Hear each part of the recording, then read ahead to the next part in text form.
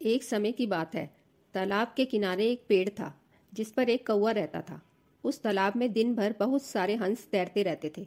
एक दिन कौआ पेड़ पर बैठकर दूर से ही हंसों को तैरते देख रहा था।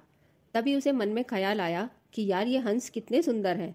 एकदम सफ़ेद झक और एक मैं हूँ, बिल्कुल काला कलूटा सा। काश मैं भी इनके जैसा सफ़ेद रंग का होता। यह सोचते हुए कौआ एक हंस के पास जाकर उससे कहने लगा, भाई, तुम कितने खुश नसीब हो। जो तुम्हें ये सफ़ेद रंग मिला है। तुम तो बहुत खुश रहते होगे ना? हंस बोला।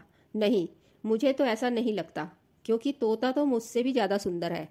इसके बाद कौआ तोते के पास गया और उससे बोला, तोते, भाई तुम हंस से भी ज़्यादा सुंदर लगते हो, क्योंकि तुम्हारे पास दो रंग हैं, इसलिए तुम तो बहुत खुश रहते होगे ना?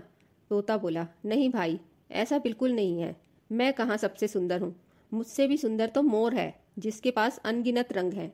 इसलिए शायद वो ही सबसे खुश होगा।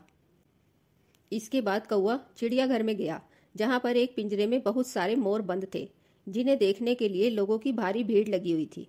जब भीड़ बिल्कुल कम हुई, तब कौआ मोर के पास गया और उससे बोला, मोर भाई, जैसा मैंने सुना है, आज अपनी आँखों से देख भी लिया है।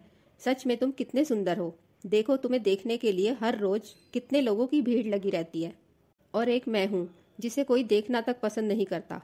तब मोर ने कहा, नहीं भाई, जिसे तुम सुंदरता कह रहे हो, असल में इसी के कारण तो मैं इस कैद खाने में बंद हूँ।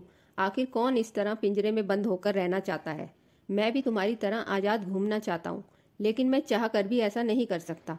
असल में तुम ही सबसे खुश नसीब हो, जो बिना डर के अपना जीवन जी सकते हो। कौआ अब समझ चुका था कि सुंदरता ही इस दुनिया में सब कुछ नहीं है। इसके बिना भी दुनिया खुशी से जी जा सकती है।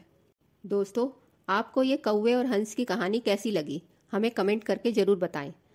और अगर वीडियो पसंद आई हो तो वीडियो को लाइक और चैनल को सब्सक्राइब करें।